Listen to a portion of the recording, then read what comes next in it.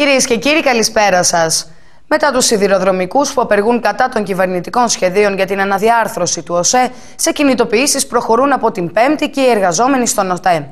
Ειδικότερα, οι εργαζόμενοι στον ΟΤΕ έχουν προκηρύξει στάση εργασίας από τη 1 έως και τις 4 και 24 ώρε απεργιακές κινητοποιήσεις, την ημερομηνία των οποίων θα καθορίσουν τις επόμενες ημέρες, αντιδρώντας στις προωθούμενες από τη διοίκηση του οργανισμού αλλαγές στα εργασιακά και ασφαλιστικά τους δικαιώματα.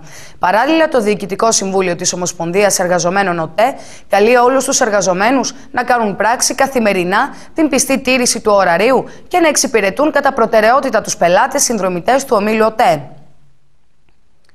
Το κουτί της Πανδώρας άνοιξε η αποκάλυψη ότι το ΙΚΑ αρνήθηκε να καλύψει δαπάνες για αγορά ειδικών υποδημάτων από διαβητικούς.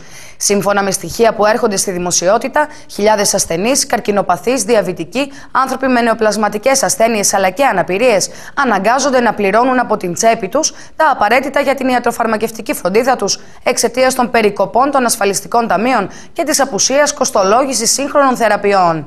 Σύμφωνα με τα νέα, άνηση είναι η μάχη που δίνουν οι Έλληνες καρκινοπαθείς, οι οποίοι εγκλωβισμένοι στον απαρχαιωμένο εξοπλισμό των δημόσιων νοσοκομείων αναζητούν λύσεις στον ιδιωτικό τομέα.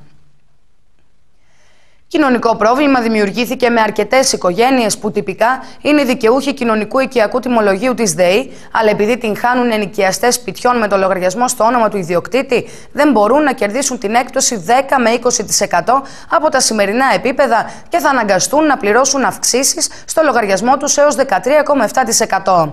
Οι ενοικιαστές με μετρητή στο όνομα του ιδιοκτήτη της κατοικίας όπου διαμένουν δεν μπορούν τυπικά να υποβάλουν αίτηση για ένταξη στο κοινωνικό οικιακό τιμολόγιο, αφού θα πρέπει να γίνει πρώτα αλλαγή του δικαιούχου. Ανταρσία ετοιμάζουν οι πανεπιστημιακοί καθηγητές, οι οποίοι εξέδωσαν ψήφισμα σχετικά με τις αλλαγές στην ανώτατη εκπαίδευση, οριοθετώντας τις κόκκινες ζώνες που δεν πρέπει να αγγίξει η κυβέρνηση. Πρόκειται για τα θέματα των διοικήσεων των ΑΕΗ, τις οποίες οι πανεπιστημιακοί θέλουν να εκλέγουν εσωτερικά της διαχείρισης της έρευνας και των κονδυλίων της και των μηχανισμών χρηματοδότησής τους. Οι αντιδράσεις μάλιστα φουντώνουν καθώς ούτε χθες Δευτέρα ανακοινώθηκε όπως είχε διαρρεύσει από το Υπουργείο Παιδείας το κείμενο της διαβούλευσης για τις αλλαγές στην ανώτατη εκπαίδευση, το οποίο Πριτάνη, καθηγητές και φοιτητές περιμένουν επί 15 μέρο προκειμένου να έχουν γραπτό στις προτάσεις της κυβέρνησης. Ένα άτομο συνελήφθη αργά το βράδυ της Δευτέρας στην περιοχή του Ασπροπύργου, γιατί με άγνωστο συνεργό του, ο οποίος αναζητείται, ακινητοποίησαν υπό την απειλή όπλων αστυνομικούς της Διεύθυνσης Αλλοδαπών Αττικής και αφού τους αφαίρεσαν τα όπλα, τράπηκαν σε φυγή με φορτηγό το οποίο μετέφερε παράνομους μετανάστες. Σύμφωνα με τις πρώτες πληροφορίες, αστυνομικοί της Διεύθυνσης Αλλοδαπών, όπου είχαν στήσει μπλόκο σε δρόμο με κατεύθυνση προς Κόρινθο, εντόπισαν φορτηγό το οποίο μετέφερε παράνομους μετανάστες. Μόλις ο οδηγός του οχήματος αντιλήφθηκε τους αστυνομικούς, εγκατέλειψε το όχημα και τράπηκε σε φυγή. Εκτός σύνορων τώρα, μεγάλη ποσότητα εκρηκτικών στρατιωτικού τύπου που ισοδυναμεί με τα εκρηκτικά που χρησιμοποιήθηκαν στις τρομοκρατικές επιθέσεις στο Λονδίνο το 2005, εντοπίστηκαν τη Δευτέρα σε ένα μικρό απομονωμένο κημητήριο στο East Village στα νοτιοανατολικά του Μανχάταν. Οι αρχές βρήκαν οκτώ πλάκες του πλαστικού εκρηκτικού σε 4, τυλιγμένες μέσα σε μία σακούλα, αλλά δεν εντοπίστηκε πουθενά πυροκροτητής. Ο αρχηγός της αστυνομίας της Νέας Υόρκης, Ρέιμοντ Κέλλη, είπε ότι το υλικό που βρέθηκε είναι στρατιωτικού τύπου και πολύ ισχυρό. Ισοδυναμεί, όπως δήλωσε, με την ποσότητα των εκρηκτικών που χρησιμοποιήθηκαν στις επιθέσεις στο Λονδίνο το 2005. Στο Σαράγεβο βρίσκεται η Αμερικανίδα Υπέξ Χίλαρη Κλίντον στο πλαίσιο της διήμερης περιοδίας της στα Βαλκάνια. Πρόκειται για την πρώτη επίσκεψή της στην περιοχή από τότε που ανέλαβε επικεφαλής του State Department. Η Αμερικανίδα Υπουργός πρόκειται να καλέσει τις εθνικές κοινότητες της Βοσνίας Ερζεγοβίνης να υπερκεράσουν τις διαφορές τους και να ενισχύσουν τους κοινούς κεντρικούς θεσμούς προκειμένου να διευκολύνουν την ενσωμάτωση της χώρας στην Ευρώπη.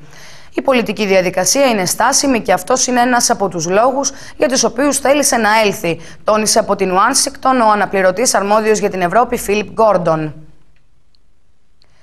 Τη σύλληψη δύο ξένων υπηκών που παρίσταναν τους δημοσιογράφους ανακοίνωσε τη Δευτέρα το Ιρανικό καθεστώς, χωρίς να αναφέρει ονόματα και εθνικότητα. Σύμφωνα με πληροφορίες της Διεθνούς Επιτροπής κατά του λιθοβολισμού, πρόκειται για Γερμανούς δημοσιογράφους, ενώ ενδέχεται να έχουν επίσης συλληφθεί ο γιος και ο δικηγόρος της Ιστανέχτ Αστιανή της Ιρανής που είχε καταδικαστεί σε θάνατο διαλυθοβολισμού.